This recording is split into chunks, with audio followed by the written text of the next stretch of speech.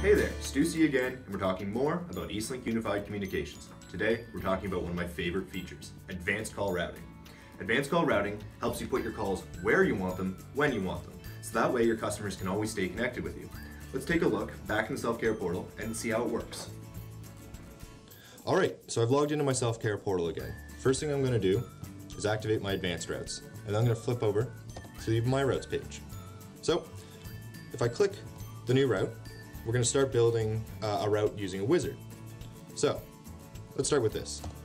When a call is received, and you're going to see this built down here in English, I'm going to click next, and then I pick a condition. For our example here, we're going to talk about using a specific time and date range. Specifically, we're going to use my office hours because I only want to get calls on my cell phone during my office hours, and at the end of the day, I want to just go to voicemail.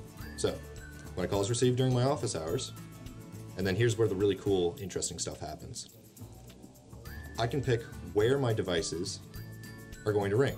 So let's ring this device first and pick these numbers.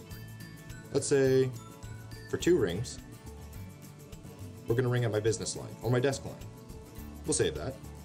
And then after that, let's say for another two rings, we'll ring at both my business line and at my cell phone. Save that.